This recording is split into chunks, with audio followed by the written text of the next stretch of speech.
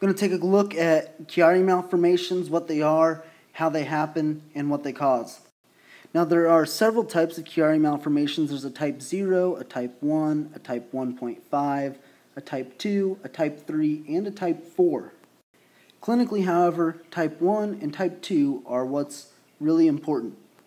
But I'll briefly explain the others at the end of this video. Some people call this the Arnold-Chiari malformation. Uh, specifically, that's referred to in type 2 Chiari malformations.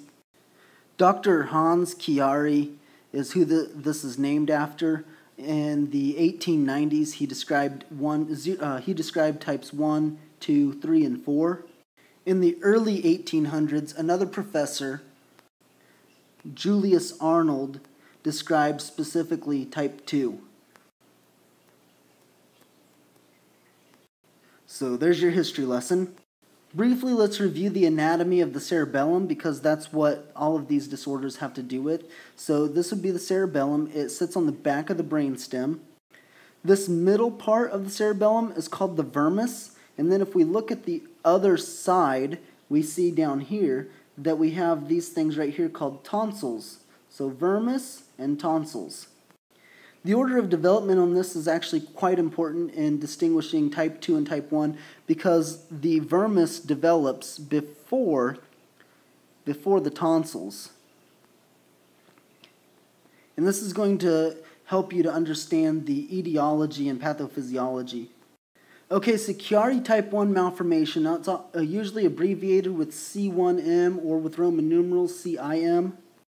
Now, the really important distinguishing features of this is its tonsillar herniation. Now, the most textbooks are going to say greater than five millimeters um, through the foramen magnum. However, a large study was done and it was found that anything between three to five millimeters in that intermediate range will either be asymptomatic or have borderline symptoms.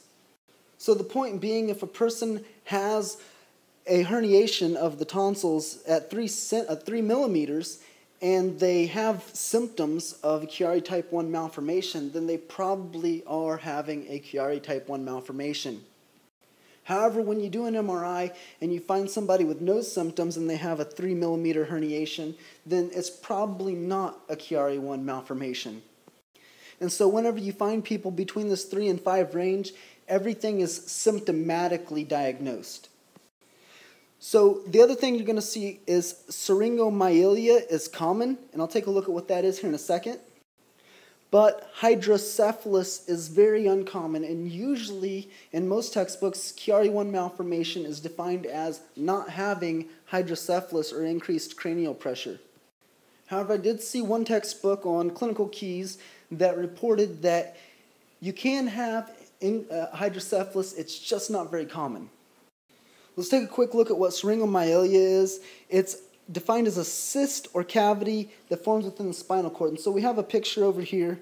I'll try to highlight it in blue. We have this cyst, this cavity that's formed within the canal of the spinal cord. So if you just have excess fluid in the spinal cord, it's called hydromyelia. But whenever that fluid presses into and dissects into the spinal cord, it's syringomyelia. And let's take a cross-sectional look really quick at what this causes. So here I have two sections of the spinal cord, here at C2 and at C3. And we're going to pretend like all the stuff in the middle is still there, but we've drawn it so that it's not shown. Nerve fibers that sense pain will come in and into the spinal cord about right here. Then some of these fibers will go up one or two places, or they will go down one or two spinal segments. And then, of course, some of them will not go up or down at all. They'll just enter into the spinal cord. Whenever they enter into the spinal cord, they go down, they cross the anterior white commissure and settle down right here. These are the fibers that carry pain and temperature sensation. It's called the anterolateral system or sometimes the spinothalamic tract. And so this is happening up here as well. So we have all this, and then whenever these fibers are here, they travel up into the brain from that point. So the point is that different fibers cross over differently. With the spinothalamic tract or anterolateral system, they cross over almost immediately or within one to two spinal segments. Now with syringomyelia, you have increased uh, fluid moving into the central canal, and it's compressing everything. And what it will do is it will compress on these fibers in the anterior white commissure, and so you'll have anything within one to two spinal segments of this lesion will lose sensation of pain and temperature in that area. Now, syringomyelia is typically in the cervical region, and so what you get is a cape like distribution, loss of pain and temperature sensation. So here's a Polaroid picture of my roommate, Jonathan. He has syringomyelia. So, all along his arm, up around his chest, and around his back, he will not sense pain, so he can touch the hot plate and think it's okay. So, in review, you have tonsillar herniation, syringomyelia, no hydrocephalus, no brainstem herniation. This is Chiari-1 malformation. Due to the syringomyelia, you get the cape-like loss of pain. You also get something called a Valsalva maneuver-induced pain. The Valsalva maneuver is basically like holding your breath and grunting. It's, it's what you do when you poop. So if a person gets pain in their head or neck whenever they poop, cough, or perform the Valsalva maneuver, this may be due to a Chiari-1 malformation. The idea behind this is that the, basically the flow of cerebrospinal fluid eh, eventually flows out into the venous system, and by performing the Valsalva maneuver, you're preventing it from moving out into the venous system, and you're causing a short, a slight buildup of pressure, and that pressure feeds back down into the syringomyelia. And again, the exact reason for this right now, nobody knows. But the basic theory is what I just explained. So Chiari-1 malformations have a basic breakdown of symptoms. You can have occipito-cervical headaches. You can have in the brainstem respiratory problems, nystagmus. You can also have facial sensory problems. And basically, if you think of any cranial nerve that's in the brainstem, then there's a small chance that it can get compressed and you can get that cranial nerve involvement. Thus, the facial sensory from cranial nerve 7, nystagmus from cranial nerve 8, and the likelihood of each of these uh, cranial nerve involvements is correlated with where they are in the brainstem. So cranial nerve 7 and 8 fairly low in the brainstem, and so they have a higher likelihood of having lesions. With the cerebellum, you can have ataxia, clumsiness, hiccups. With the spine, like we just said, you can get sensory loss, but you can also get motor and sensory loss. With the motor loss, it will present either as upper lower, or both upper and lower motor neuron. And the basic explanation for this is that anytime you have any compression of the spinal cord, any motor neuron leaving at the site of compression is going to be a lower motor neuron. But anything below the site of compression, it's going to be the tract of the upper motor neuron. So again, at the site of compression, you get lower motor neuron symptoms. Below it, you can have upper motor neuron symptoms. And then something like 70 to 80% of people at diagnosis will have either, either ophthalmologic or otologic problems.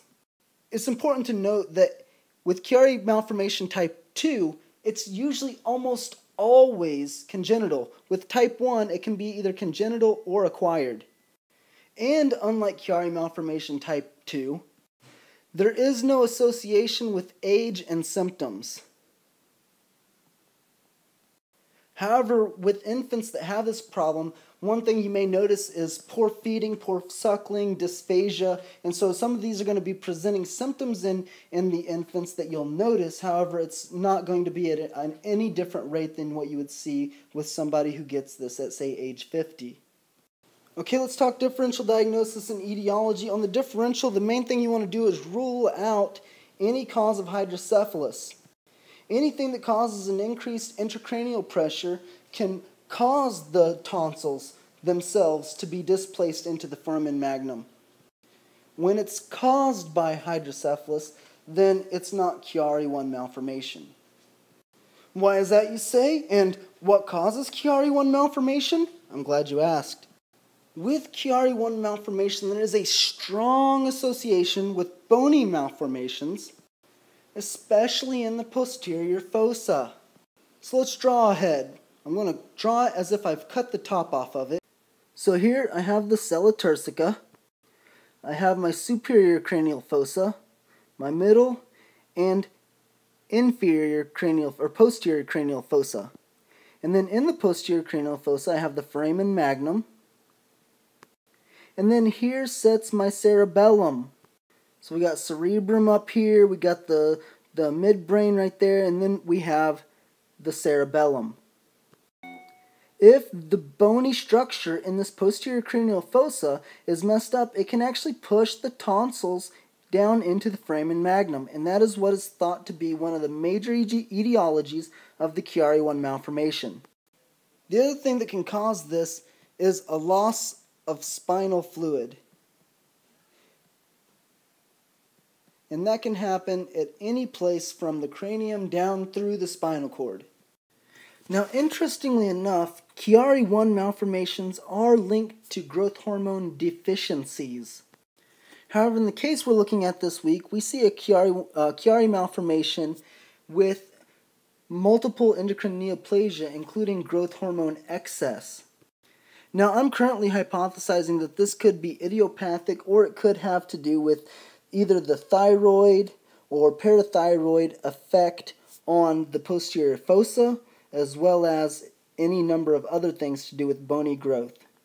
Also, with multiple endocrine neoplasia, cerebellar and fourth ventricle ependymomas are, are common, and these are things that you actually have to rule out whenever you're working up a Chiari malformation. So it might be in the case that we're looking at this week, there actually is no Chiari malformation, that it's actually a cerebellar ependymoma. I think we're going to find out on Wednesday. Now, Chiari type 2 malformations. These are strongly associated with a lumbosacral myelomeningocele, and in fact, that's the major etiology. Just as a quick review, a myelomeningocele is when you have both a herniation of the myelin of the spinal cord as well as the spinal uh, cauda equina itself. If there is no spinal tissue out in this herniation, then it's just called a meningocele. And as you can see, it's just like skin and connective tissue that's holding all of this fluid in. And so there's decreased intracranial pressure whenever this first starts to form. This illness or defect falls under a, a larger family called tube, neural tube defects. And here in a second, we'll take a look at how that causes Chiari type 2 malformations. So another thing that's associated with it is a shallow posterior fossa and an, an enlarged foramen magnum. Now, these do not cause the Chiari malformation, but these are caused by the Chiari malformation most of the time. Now, in this last little tidbit, 80% of cases present at birth with hydrocephalus. This is sort of contradicted in another textbook, but I think most of my sources had something like this. And we'll take a look at exactly what the other textbook says here in a second. Now, of course, I'll point out, like I have in the past, when I import PowerPoints into this software, sometimes it'll cut off the bottom. And I went ahead and typed in hydrocephalus instead of writing it in. I have poor handwriting. You probably already know that. And I think that's good because if I had bad handwriting, patients wouldn't believe I was a real doctor. So, what is exactly different from a Chiari type 2 malformation from than a Chiari type 1 malformation? With a type 2, it's a herniation of the vermis, not the tonsils. So let's talk about the etiology of this. Why do we get the vermis herniation and not the tonsil? Well, the vermis is the first to develop. And when the vermis is developing, if there is a low intracranial pressure, then there's nothing holding the vermis within the cranial fossa, and it will move down into the foramen magnum. So we have the vermis moving into the foramen magnum, what is causing the low intracranial pressure? Well, it could be a number of things, but most commonly, there's a myelomeningeal seal. McLone and Knepper in 1989 put together their unified theory describing all of the etiology, pathophysiology of these Chiari type 2 malformations. Now, why do you get the decreased depth in the posterior cranial fossa? in their unified theory, they explained that part of the development of the cranium and the brain itself is contributed by pressure from the cerebrospinal fluid. And so, with that decreased pressure, you're going to have problems with the cranium as well. Now, with Chiari type 2 malformation, there's a strong connection between the age and the symptoms that are seen. In the textbook that lineated these out, it said that newborns tend to be asymptomatic, and I don't know if hydrocephalus and asymptomatic go together. I haven't looked into it. I'm just a medical student. Give me a break. But in past cases where we've seen a hydrocephalus, there have also been other symptoms to go along with that. For example, a large head, vomiting, sleepiness, irritability, poor feeding in a baby, seizures, etc., etc. Forgive me, I'm on my fourth Red Bull this evening. With infants a little bit older than newborn, you usually see brainstem problems. With older children and young adults, that's when you start seeing the spinal, cerebellar, and ophthalmologic problems.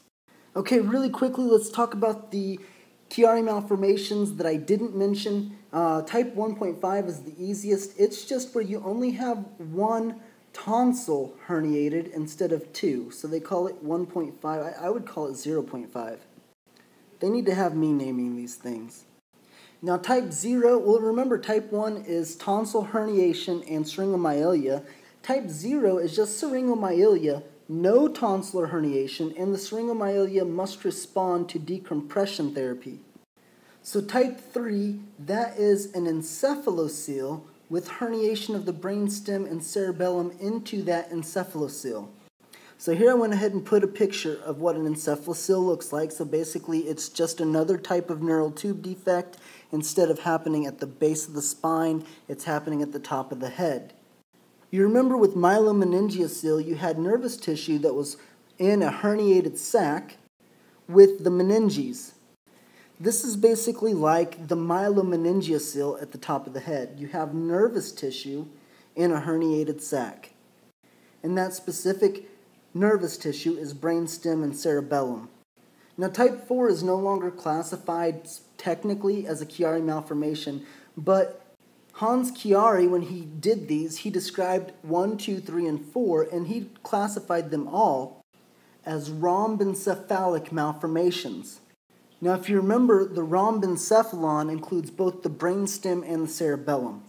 So type 4, as it was described by Hans Chiari, is hypoplasia or aplasia of the cerebellum. So if the cerebellum doesn't completely form, or if it doesn't form at all, that would be a type 4 Chiari malformation. These have since been reclassified as posterior fossa cysts. So quick overview, type 0 is syringomyelia that responds to decompression. Type 1, you have herniation of the tonsils and syringomyelia. Type 1.5, just one tonsil. Call it type 0.5. I dare you. Type 2, you have herniation of the vermis and is strongly associated with myelomeningocele. Type 3, same thing as type 2, only at the top of the head. And type 4, you have no cerebellum.